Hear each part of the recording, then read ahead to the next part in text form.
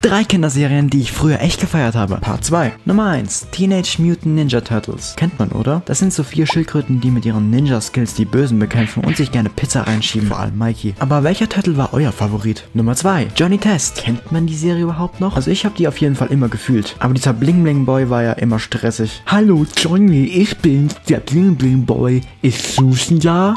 Nummer 3. SpongeBob Schwammkopf. Ich glaube, darüber müssen wir nicht reden. Es ist einfach eine der besten Serien, wobei die alten Folgen besser waren. Naja. Abonnier jetzt für mehr Shorts.